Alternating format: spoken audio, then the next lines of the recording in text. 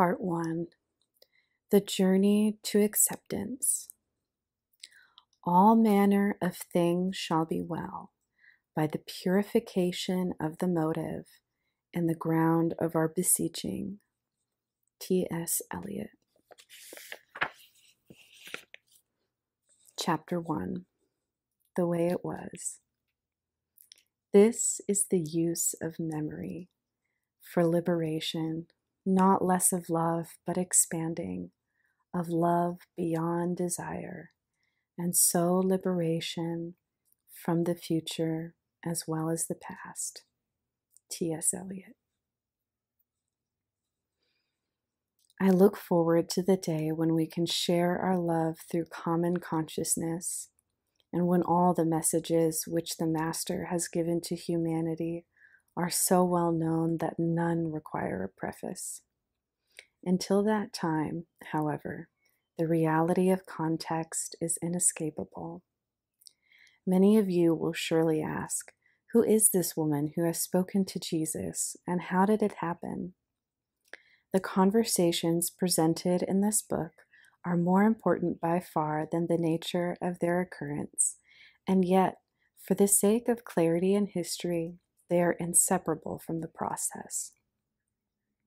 The special quality of His truth is that there is a sacred resonance and harmony within it which clarifies, integrates, and focuses the truth of all men.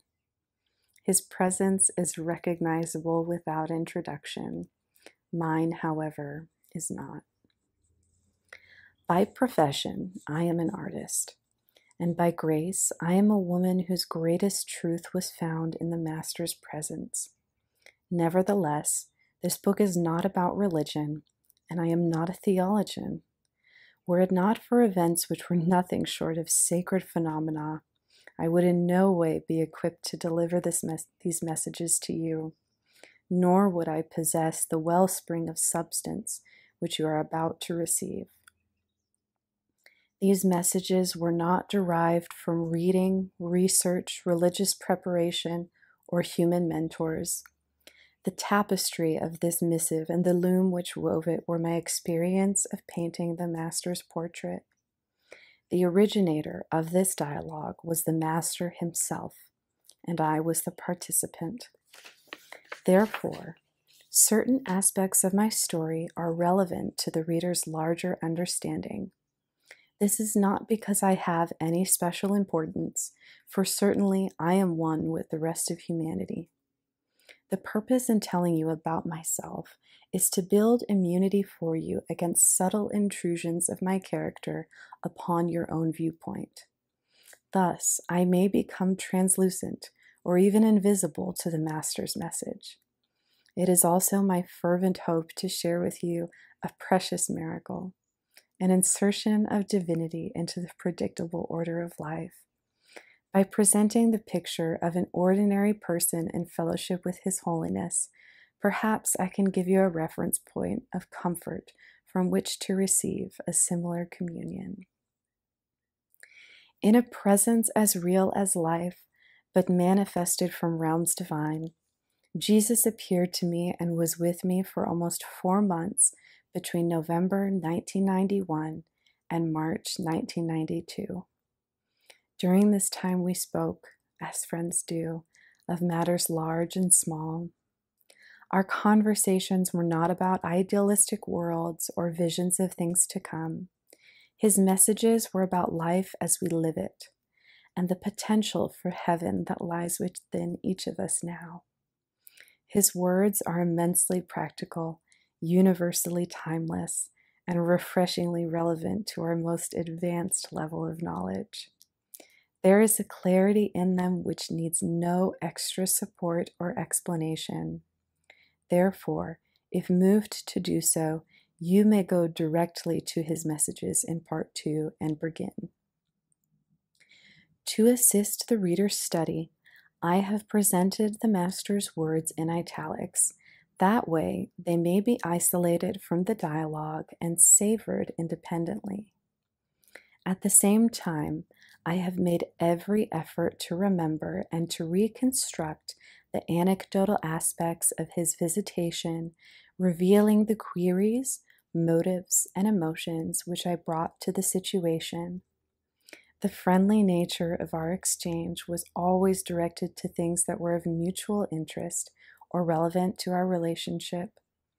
Our topics of conversation ranged from the practical to the miraculous, with pleasant interludes of chit chat.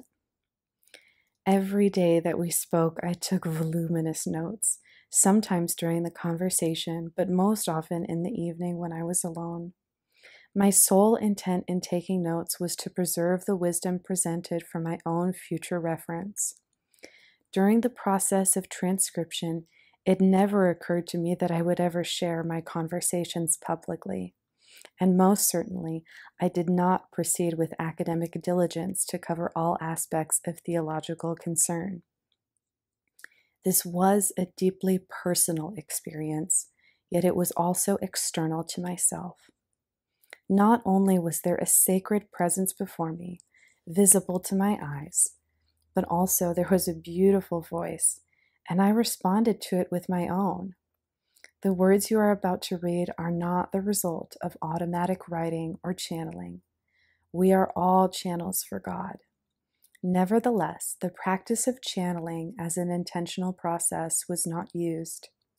Channeling, as a way of directing communication from other realms into this one, is a very ancient practice currently revived in its popularity.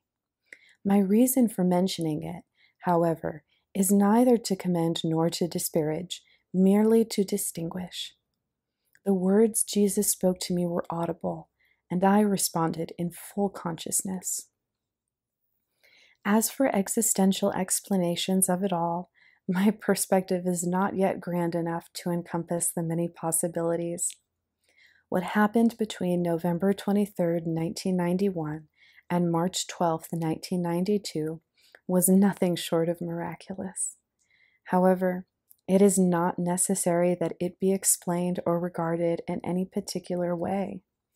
I simply hope that the reader will receive the story about to be told as the enlightenment of a woman who found her place within the Master's truth.